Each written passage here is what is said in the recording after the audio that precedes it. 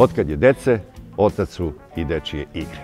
Deca su se kroz vekove igrala raznih igara, izmišljala neke nove, dorađivala stare, neke zaboravljala i tako dalje. Međutim, došlo je neko novo vreme. Deca se sada igraju interneta.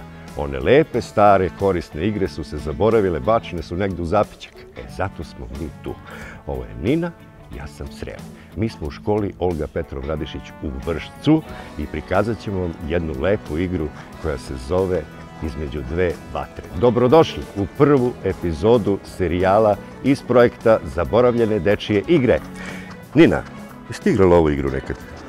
E, Pa u svom kraju sam videla da neka deca igraju, mada sam zaboravila kako se igra i nikad je nisam na kraju ni igrala. Tvoji drugari ovde pozadi vežbaju već za ovu igru. Hoćemo li da probamo i da saznamo kako se ona uopšte igra? Da. Učitelj Zora nas čeka. Ajmo.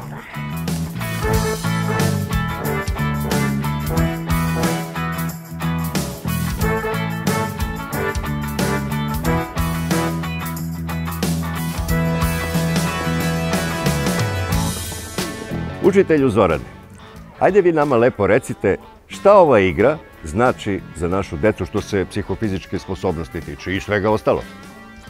Naša današnja igra je veoma pogodna i korisna za decu. Deca danas mnogo vremena provode unutra, a ova igra je prava prilika da izađu napolje, zaigraju je i razviju svoje psihofizičke sposobnosti. Igra je pogodna jer zadovoljava potrebe dece za igrom. E, igrajući nju, deca razvijaju preciznost, brzinu, okretnost, orijentaciju u prostoru i razvijaju sve svoje psihofizičke sposobnosti.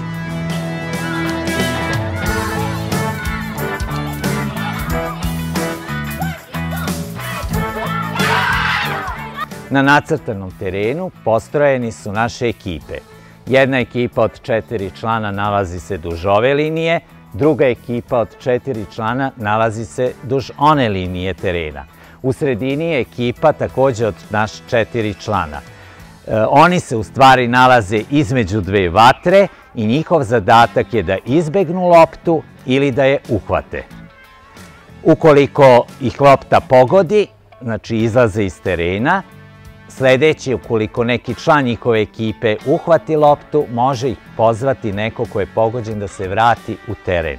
Igra je završena kada su svi članovi ekipe pogođeni.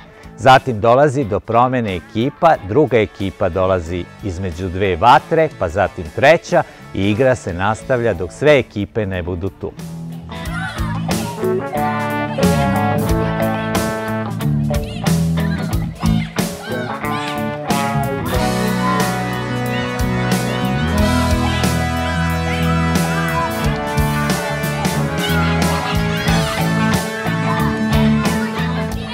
Istina, igrali smo se još kako i, dok, i u školi, igrali smo se i kući, u stvari na ulici, onda je bilo drugačije. Pazite, moje vreme kad sam ja bio u osnovnoj školi, to je bilo 70. godina, onda igrali smo, ali nekako drugačije. Sad gledamo ova deca, ovde su, da, ovde deca su nekako podeljena u dve grupe, a mi smo, mi smo onda imali jednog s jedne strane, koji je gađao i drugog s druge strane i mi smo bili u sredini.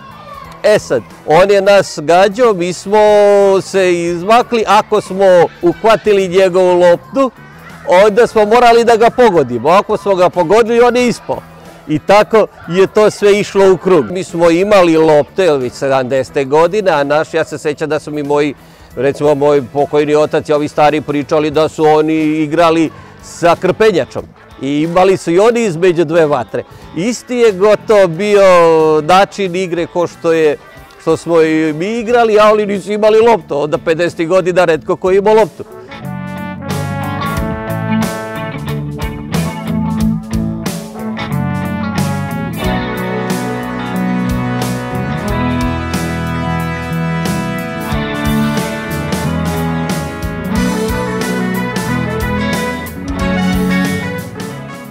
Kada je dece ima i igara, od kada nas pamćenje služi, toliko je stara i dečija igra. Ona je svakom detetu veoma dragocena, jer kroz igru dete upravo izražava ono što misli, ono što osjeća i ono što želi da izrazi.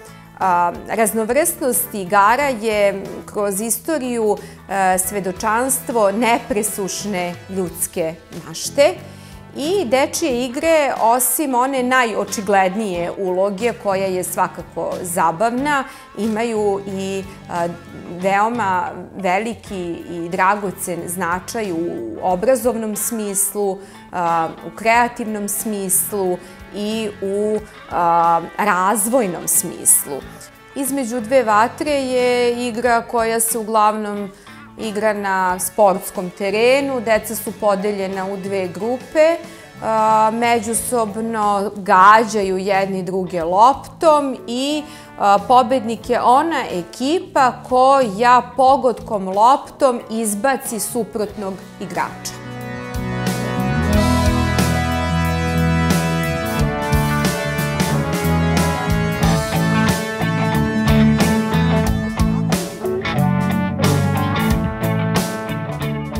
Jeste igrali nekad ovu igru uopšte? Jesam, jesam kad smo bili manji u školi i po ulici naravno.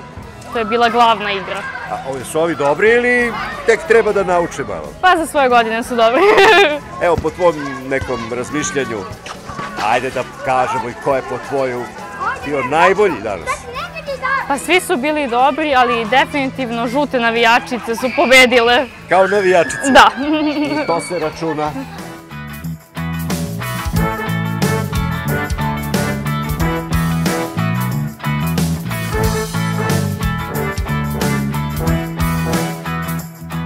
E pa, Ninice, evo, videla si kako se igra, se se setila sada kako su ovi tvoji drugari igrali. Jel ti se sviđa? Da.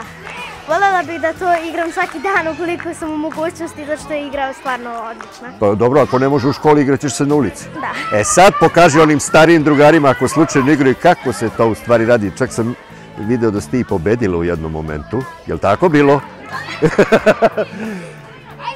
Eto, Videli smo ovu prvu epizodu iz serijala Zaboravljene dečije igre po projektu, naravno.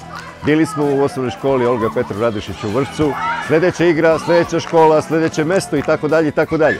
Što se ovih lepe igre tiče, evo nismo je zaboravili.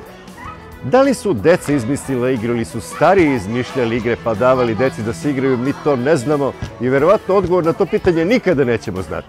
Ali jedno je sigurno, dajte deci igre da se igraju, a mi stari sačuvajmo te igre od zaborava.